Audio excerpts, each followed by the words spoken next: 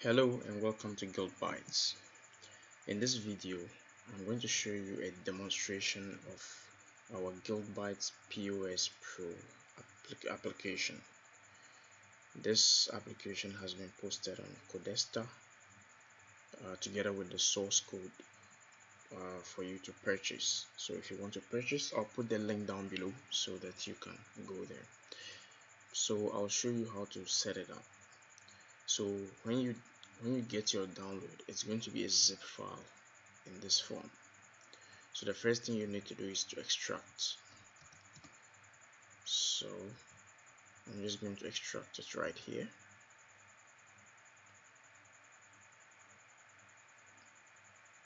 Okay. Once it is extracted inside this there is the source code which is right here and then I also have the I also compiled it we also compiled it into an executable. So if you don't want to install any dependencies you don't want to run from the source code you can just run this and then the POS application will will run. So it will come up right now.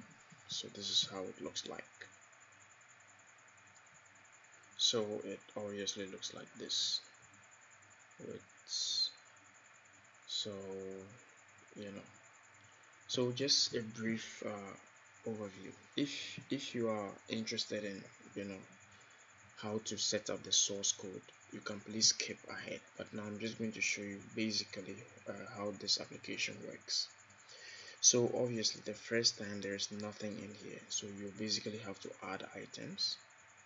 But before then you can see that the currency here is in Ghanaian cedis right? Now that's because that's the default that we set it to.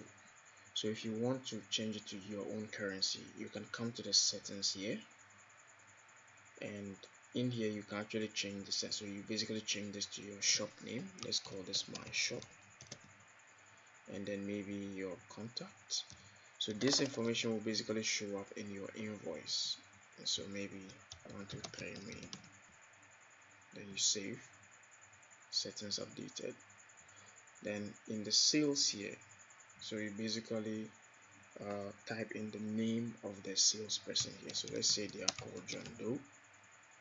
And then the currency. So obviously there's only Ghanaian cedi here. Now if you want to add your own currency you can add it here. So you can basically follow this right? So uh, if say you want to add the US dollars so you can say United States dollar and then the currency code will basically be USD and the symbol we use HTML HTML5 uh, code to basically encode the symbols right? So the one for dollar the dollar sign is this. 36 and the semicolon. The semicolon is important. Now if you want to see uh, the code for your currency if it is not here you can you can look up this uh, navigate to this website. You you'll get the list of all currencies and their codes. So you you're basically fill in this. So when we add them so once it's added currency added you can see it's added here so you can set it so that it's the currency is now in US dollars. Now if you want to remove so if you don't want the Ghanaian be there you can just remove it from here and it will be gone right so you can basically come here and set USD and then save. So once it's saved we can close it. And you can see that once we come here the USD is set. So we can now add an item. So let's add item 1 some description just any description here. And then we can put in our pricing. So quantity 500 and then we save. Right and let's add one more item. Item 2 now you don't need to fill in this but if you don't fill in the unit price and the quantity it will give you an error. It'll it'll tell you unit price is required so and if you enter alphabets it will give you it will tell you to use valid characters obviously. So let's say this 35 and then the quantities too similarly right? So the quantities required and you need to use valid characters. So let's say we have 500 of these and then we can save okay? Let's add a third one one that we can delete. So let's call this item 4 and description to be deleted. And some values here. Save so if you want to delete this you just click and then you click delete and it deletes it. Okay? And once we've added whatever we want you can close it now. And then you can come down here and say refresh.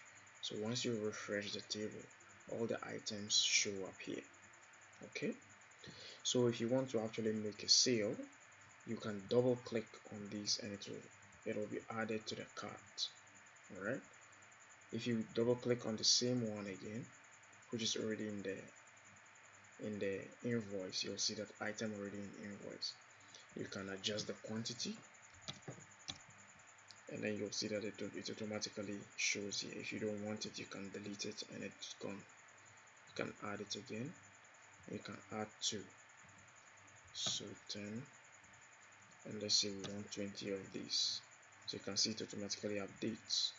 And payment to be made a thousand right? And you can also you know type in the customer name. So let's say new customer. And their contact is this. One two three and then complete sales. So this is essentially the print preview. Okay? So remember this is the sales manager. So right here you can actually change this to your salesperson. So let's close this and go back to the settings.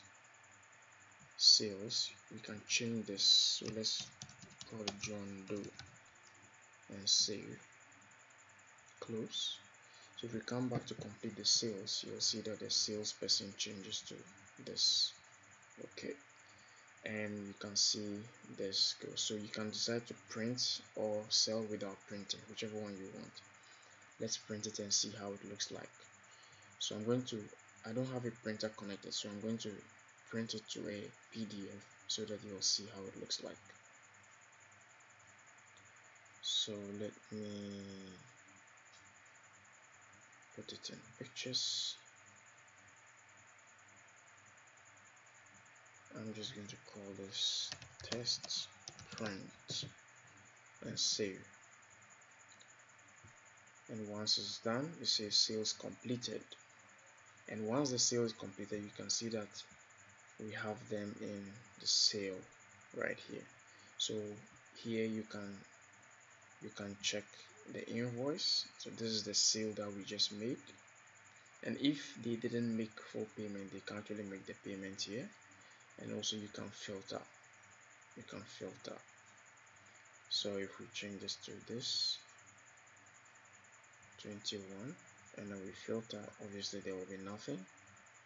And so if you change it to 22nd and it will appear. And you can see that these also show okay.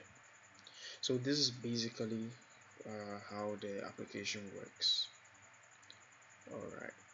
So now let us go back. If however you want to build it from source so you can see that the it uses SQLite database so it's automatically generated and you can see it's right here. So basically if you delete this it will reset everything. Okay so back here in your extracted folder you can see that we have a requirements.txt file. Right here we can actually uh, install all the dependencies from here. So what we need to do is we need to navigate to this folder. Now I use a, a, virtual environment so I'm going to activate my virtual environment. If you use a virtual environment tool you need to activate it. If not you can just install it straight away. So first I'm just going to go back to my virtual environment. Hmm. And then I'm just going to activate this. Okay once it is activated then I will navigate to this. Cd and then I'm in so from here I want if, if you want to install all the dependencies you need to install pip install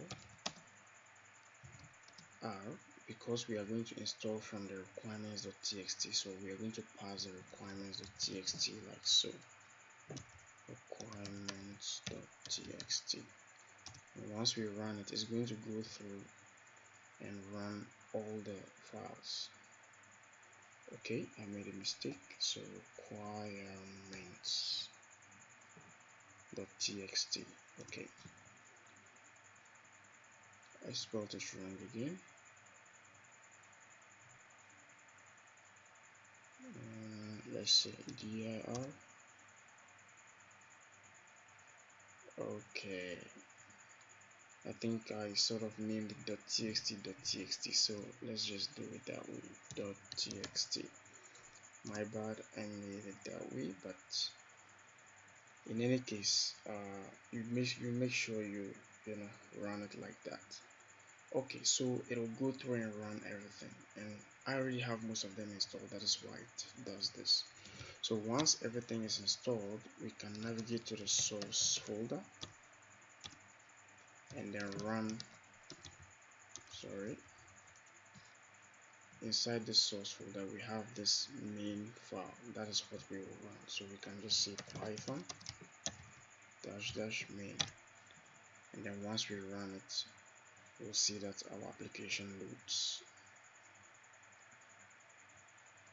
and it loads like normal. Okay. So we can actually you can open this uh, the source code in your in your favorite editor. So I use Sublime so you can see the files right here. And you can see the files here.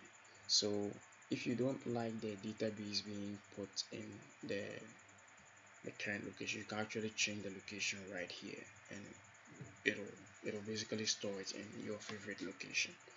Okay so this is basically the demo. If you have any confusion any questions just leave leave it down in the comments or send an email. I'll put all of those information and the links down below. Thank you very much. And thank you very much again for purchasing. And if you haven't purchased please go to Codester and purchase the source code as well as the executable. Okay thank you